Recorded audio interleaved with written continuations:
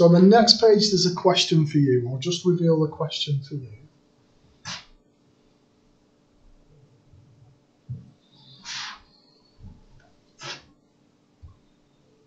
Got parents sleeping tonight, and I'm absolutely knackered because I couldn't sleep last night. So it'll be an interesting one. Right, so that's the question. So follow that through. Make sure it's okay. There, you can see everything, can't you? Uh, there we go. Please make sure you do that. Right, next one then. So example two. So I've got an equation. So it says use that iterative formula. Uh, so x1. So x1 is 3.5. So I need to, so x2 will be 2 plus log of 3.5 plus 1. So on my calculator, hang go. Oh, come on. Let's get the things over there. Delete that. So I've got 3.5 and then I'm doing 2 plus ln bracket answer plus 1 close bracket. So 3.504, what's it asking, what's it asking for?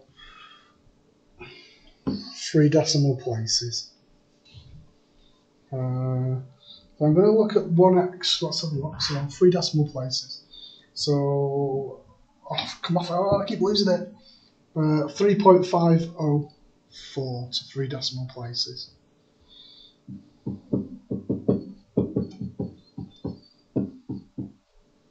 So the next one, if I press exit, 3.505.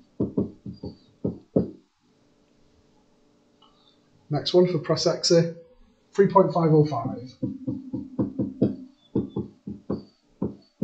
There. So to three decimal places, alpha is 3.505 to three decimal places, because that's what I've got to three decimal places. Uh, so it says write down your answers a little bit more. That's fine. That's okay. Uh, justify it. So part B for justifying, we're going to go with. Got to go either side. So I'm looking at 3.5045 through to 3.5055. So f of 3.5045 is minus 2.597 times 10 to the minus 3. And f of 3.5055 is 9.0627 times 10 to the minus 4. So that's less than 0, that's greater than 0. So the function's continuous. and there's a change of sign.